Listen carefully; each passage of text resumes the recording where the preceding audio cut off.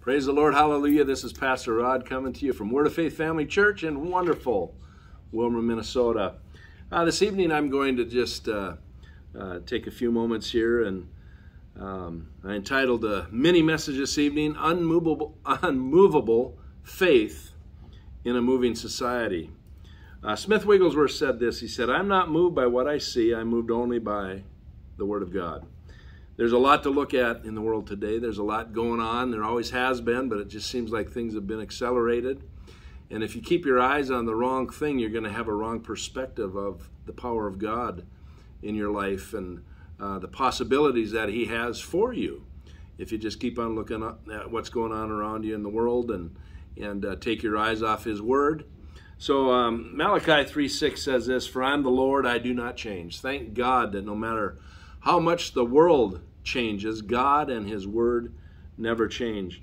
Jesus said it said about Jesus in Hebrews chapter 13 verse 8 that Jesus Christ is the same yesterday, today, and forever. I want to read from the 102nd uh, Psalm starting with verse 25 and I'm going to read out of the Amplified Bible. It says this, "At the beginning you existed and laid the foundations of the earth. The heavens are the work of your hands. They shall perish, but you shall remain and endure. Yes, all of them shall wear out and become old like a garment. Like clothing, you shall change them, and they shall be changed and pass away. But you, talking about God, remain the same, and your years shall never have no end. The children of your servants shall dwell safely and continue, and their descendants shall be established before you forever. Your faith needs to be unshakable in a shaky culture. Your faith needs to be un- unbroke, unbroke, excuse me, unbreakable in a broken world, and your faith needs to be alive in a dying world. Hebrews chapter 11. Let me get there quickly here. Hebrews, the 11th chapter. Verse 1 says this Now faith is the substance of things hoped for, the evidence of things not seen. The Amplified Bible says, Now faith is the assurance, the confirmation, the title deed of the things we hope for, being the proof of things we do not see and the conviction of their reality. Faith perceiving as fact what is not revealed to the senses. And then jump on down to verse 3 here. It says, By faith we understand that the worlds during the successive ages were framed, fashioned, put in order, and equipped for their intended purpose by the Word of God, so that what we see was not made out of things which were visible. And then I'll keep on going down here to verse 6 But without faith it is impossible to please or be satisfactory to Him. For whoever would come near to God must necessarily believe that God exists and that He is a rewarder of those who earnestly and diligently seek Him out. Man, these are the days that we need to be seeking out from the Word of God and in prayer and in fellowship with other believers, seeking out God's heart, seeking out God's ways. Hebrews chapter 12, 1, it says, Therefore then we are surrounded by so great a cloud of witnesses.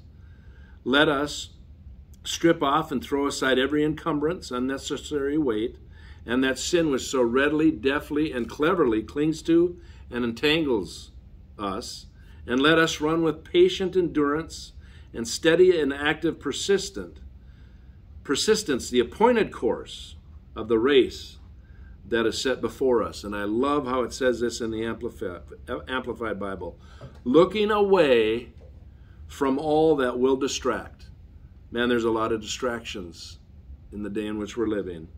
But looking away from all that will distract to Jesus, who is the leader and the source of our faith, giving the first incentive of our belief and is also its finisher, bringing it to maturity and perfection.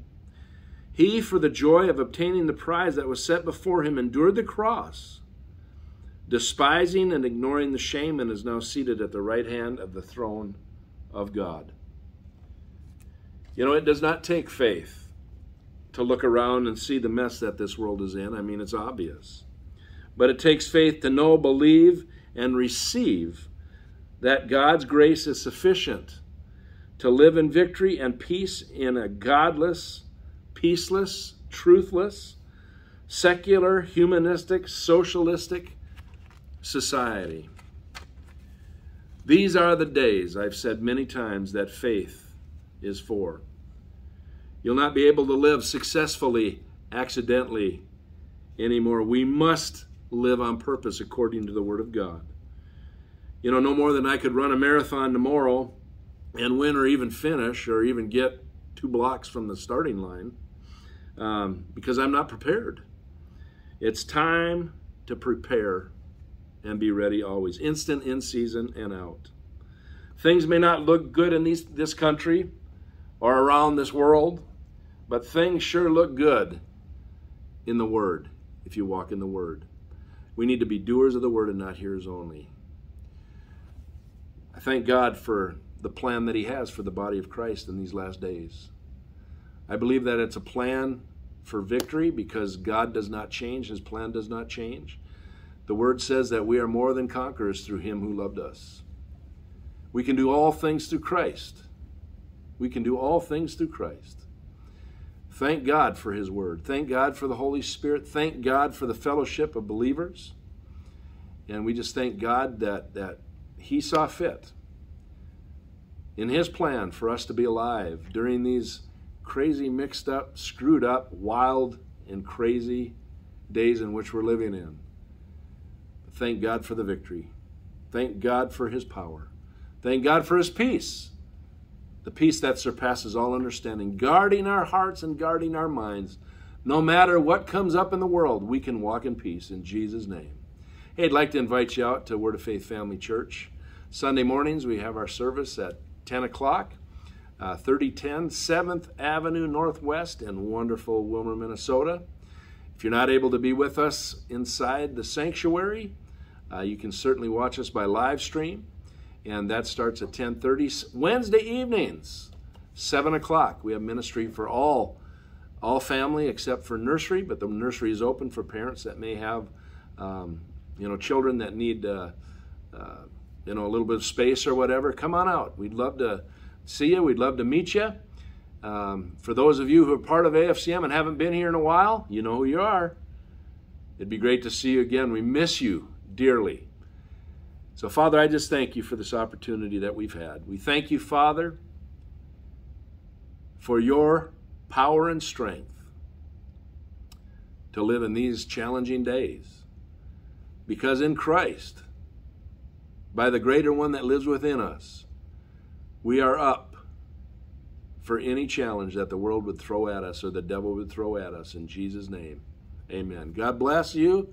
Uh, see you Sunday or next Wednesday in Jesus' name. Hallelujah. Have a great week.